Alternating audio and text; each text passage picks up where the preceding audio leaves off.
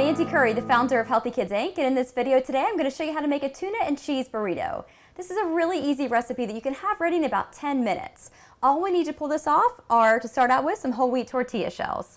In addition, we're also going to be using one can of albacore tuna, one cup of black beans, one cup of frozen corn. We're actually going to saute all this up, add a little bit of minced garlic to it, and we're going to top it off with the zest of a half of a lime. Okay, we're here on the stove top and our oil is heating. We also have a small pan for our tortilla shell. This is on low heat. We're going to use this to warm our tortilla shell while we're sauteing up our beans and our corn. So here we're going to go ahead and add our garlic. We're using two tablespoons of extra virgin olive oil, Put this into a nice pan that's on medium heat. We'll add our garlic and then we're going to go right in with our corn.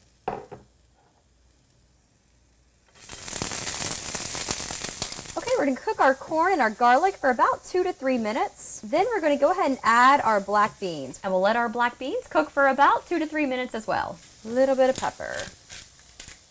And then after about a minute, you're going to want to go ahead and flip your tortilla shell. You can keep your tuna chunks as big or as small as you want them. Again, we're just simply warming it up. Now we're going to add our lime zest. Go ahead and kill the heat. Can give it a nice stir. Okay, this is everything we need. We're going to go ahead and start to fill our burritos.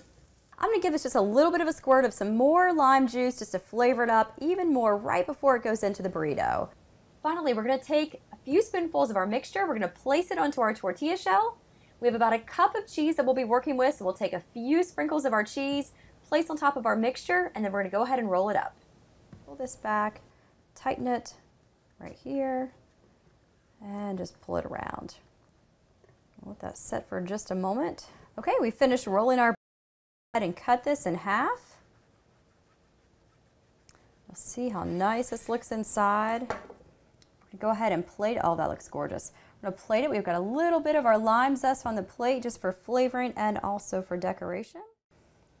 And that takes care of everything that we need for a tuna and cheese burrito. Enjoy.